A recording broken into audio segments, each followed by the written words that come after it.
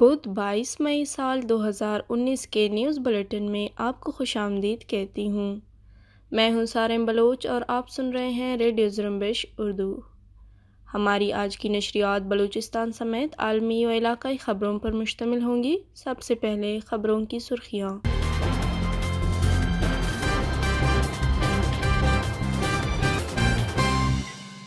قابض ریاست کی حمایت یافتہ مذہبی شدت پسند تنظیم، مسلح دفاع اور سرمچاروں کے درمیان جھڑپ۔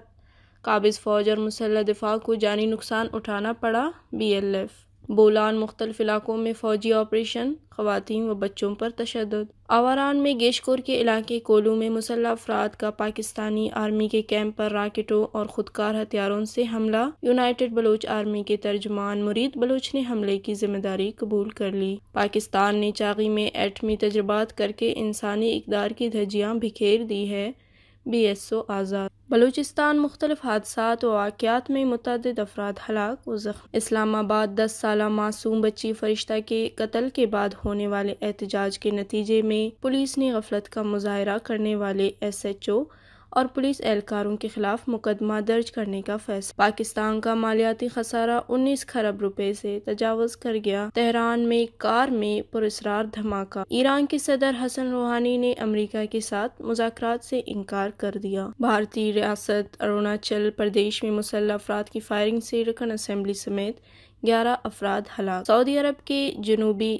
صوبے نجران میں ایئرپورٹ پر اسلحے کے ایک ڈپو کو نشانہ بنایا۔ حوثی باغیوں کا دعوی۔ مشرق وسطی میں پائیدار امن اور ترقی ایرانی شیعہ ملا ریجیم کے بلا اشتعال جارحیت امریکی مفادات کی حفاظت اور تشدد کے خاتمے کی خاطر کیپٹل ہل واشنگٹن میں نمائندگان کے ساتھ ایک سنجیدہ مباحثہ کرنے جا رہے ہیں۔ مائک پیمپیو شورش زدہ علاقے جزیرہ نما سینا میں سولہ انتہا پسند جنگجو ہلاک، مصر سیکیورٹی فورسز کا دعوی۔ انڈونیشیا صدارتی انتخابات کے بعد سے حالات کشیدہ چھ افراد ہلاک۔ خبریں تفصیل کے ساتھ پیش کر رہے ہیں ہمارے ساتھی دوست مراد بلوچ۔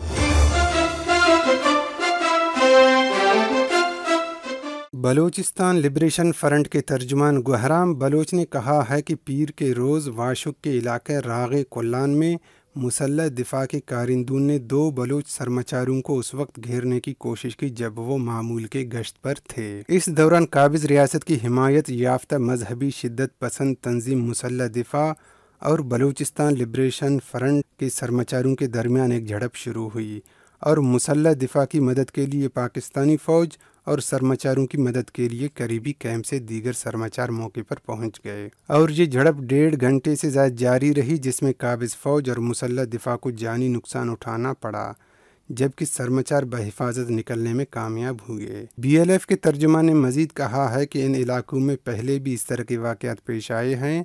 ان مقامی ڈیتھ اسکواڈز کو علی حیدر محمد حسنی کی سربراہی میں قابض پاکستانی فوج کی مدد سے چلایا جا رہا ہے۔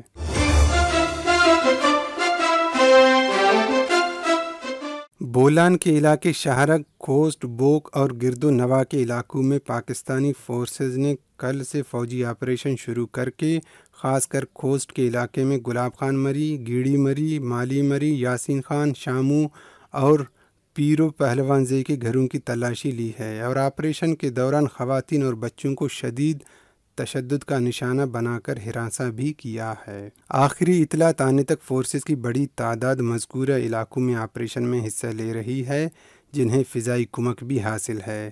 تاہم، کسی قسم کے گرفتاری کی کوئی اطلاع موصول نہیں ہو سکی ہے۔ آواران میں گشکور کے علاقے کولوا میں مسلح افراد نے پاکستانی آرمی کے کیمپ پر راکٹوں اور خودکار ہتھیاروں سے حملہ کیا ہے۔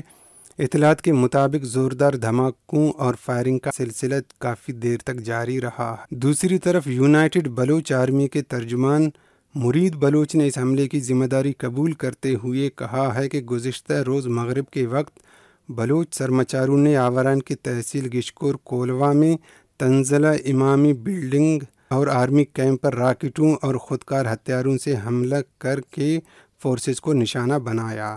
حملے میں متعدد اہلکار ہلاک اور زخمی ہوئے اور حملے کے بعد پاکستانی فورسز نے بوکھلاٹ کا شکار ہو کر عام بلوچوں پر تشدد کیا۔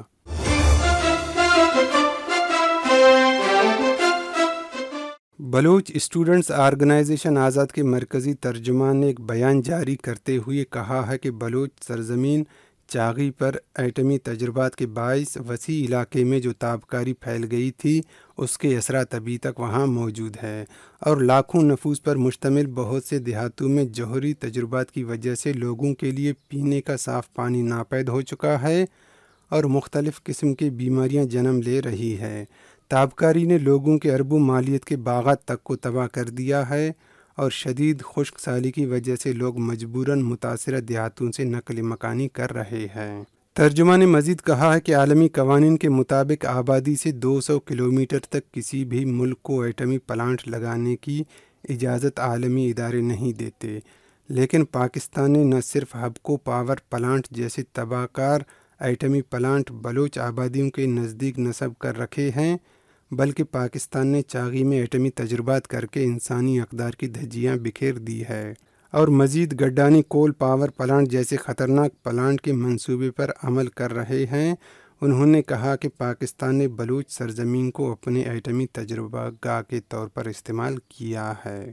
آخر میں بی ایس او آزاد کے ترجمان یوم آسروخ کے موقع پر بلوچ نیشنل موومنٹ کی جانب سے اعلان کردہ ریفرنسز، احتجاجی مظاہروں اور آن لائن کیمپین کی حمایت کرتے ہوئے کہا ہے کہ تمام کارکنوں کو تاکید کی جاتی ہے کہ وہ بلوچ نیشنل موومنٹ کے ریفرنسز، احتجاجی مظاہروں اور آن لائن کیمپین میں بھرپور حصہ لیں۔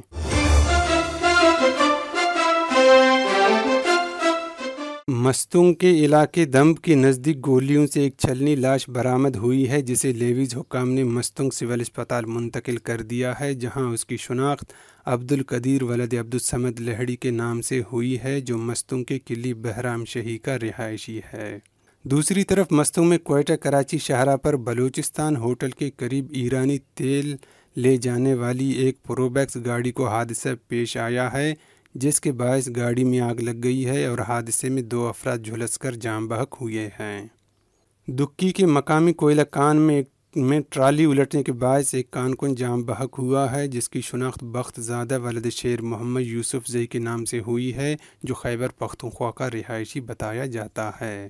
ڈیرہ مراد جمالی میں قیدی شاہ گھوٹ علی حسن رند میں آسمانی بجلی گرنے سے خاتون سمیت دو افراد جام بحق اور دو افراد شدید زخمی ہوئے ہیں۔ جام بحق ہونے والوں میں ستر سالہ خاتون اور سترہ سال ایک بچہ بابر نام کا شامل ہے۔ لورالائی میں قلعہ درگئی میں ایک بچہ کنویں میں گر کر جام بحق ہوا ہے۔ دوسری طرف چمن میں بارڈر روڈ پر فائرنگ کے نتیجے میں دو افراد زخمی ہوئے ہیں اور ملزمان فرار ہوئے ہیں۔ جل مکسی میں پرانی دشمنی کی بنا پر دو قبائل میں مسلط تصادم ہوا ہے، جس میں دو افراد ہلاک اور ایک زخمی ہوا ہے، جبکہ کوئٹہ میں سریاب روڈ، حق آباد میں ایک گھر میں گھریلو جھگڑا ہوا ہے، جس میں ایک خاتون جام بحق ہوئی ہے۔ اسلام آباد میں دس سالہ معصوم بچی فرشتہ کے قتل کے بعد ہونے والی احتجاج کے نتیجے میں اسلام آباد پولیس نے غفلت کا مظاہرہ کرنے والی ایس ایچ او اور پولیس اہلکاروں کے خلاف مقدمہ درج کرنے کا فیصلہ کیا ہے۔ اس کے علاوہ واقعہ کی جوڈیشل انکوائری بھی کروائی جائے گی جو آئندہ سات روز میں تفصیلی رپورٹ پیش کرے گی۔ مظاہرین اور انتظامیہ کے درمیان مذاکرات کے بعد مظاہرین نے دھرنا ختم کرنے کے بعد معصوم فرشتہ کی نماز جنازہ اسلام آباد کی ایک چوک میں ادا کی گئی، جس میں پشتون تحفظ موومنٹ کے منظور پشتین، محسن داوڑ اور علی وزیر سمیت سینکڑوں افراد نے شرکت کی۔ پاکستان کی حکومت کے اخراجات اور آمدن کے درمیان عدم توازن کی سبب رواں مالی سال کی نو ماہ کے دوران پاکستان کا مالیاتی خسارہ انیس کھرب روپے سے تجاوز کر گیا ہے۔ پاکستان کی وزارت خزانہ کی جانب سے جاری کیے گئے تعداد تازہ اعداد و شمار کے مطابق مالیاتی خسارہ ملک کی مجموعی قومی پیداوار یعنی جی ڈی پی کا پانچ فیصد تک آ گیا ہے۔ واضح رہے یکم جولائی دو ہزار اٹھارہ سے شروع ہونے والی مالی سال میں مارچ دو ہزار انیس تک کا خسارہ ایک دہائی کے عرصے میں نو ماہ کے دوران ہونے والا بلند ترین مالی خسارہ ہے۔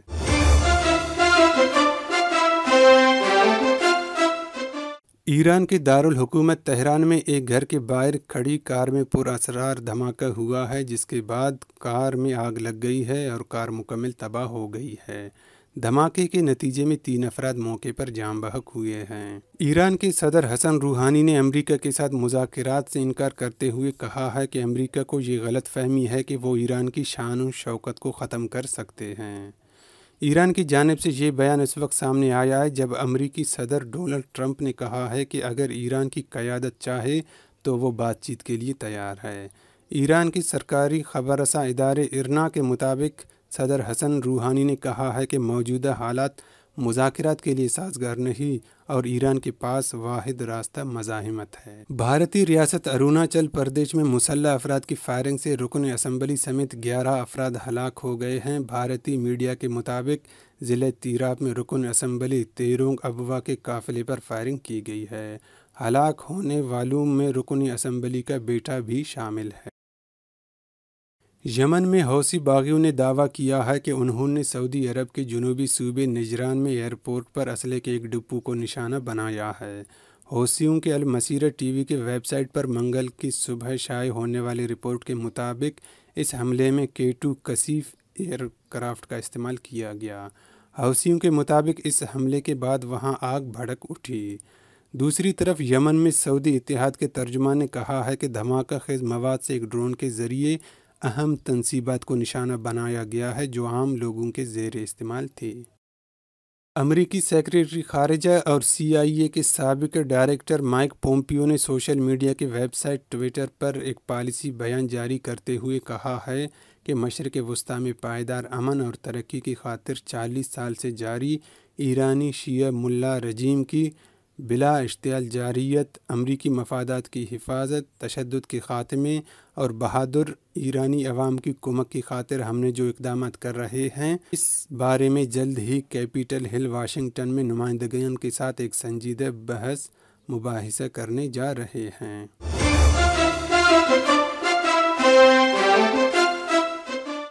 مصر کی سیکورٹی فورسز نے شورش زدہ علاقے جزیرہ نما سینیا میں ایک چھاپہ مار کارروائی میں سولہ انتہا پسند جنگجوؤں کو ہلاک کرنے کا دعویٰ کیا ہے۔ مصر کی وزارت داخلہ نے منگل کے روز ایک بیان میں کہا ہے کہ یہ جنگجو دارالحکومت العریش شہر میں پولیس کی ایک چھاپہ مار کارروائی میں مارے گئے ہیں۔ لیکن اس نے یہ نہیں بتایا ہے کہ پولیس نے ان کی کمنگ گاہ پر چھاپہ مار کارروائی کب کی۔ شیا میں گزشتہ ماہ ہونے والی صدارتی انتخابات میں موجودہ صدر جوکو ودودو کی فتح کا اعلان ہونے کے بعد سے ملک میں صورتحال کشیدہ ہوئے ہیں اور اب تک ہونے والے ہنگاموں میں چھ افراد مارے جا چکے ہیں۔ واضح رہے، انڈونیشیا کے الیکشن کمیشن نے منگل کو صدر ودودو کی کامیابی کا اعلان کیا تھا، جس کے بعد انتخابات میں ان کے حریف امیدوار اور سابق جنرل پرابو سوبیانتو کی حامیوں نے جکارتا سمیت کئی شہروں میں مظاہرے شروع کیے تھے۔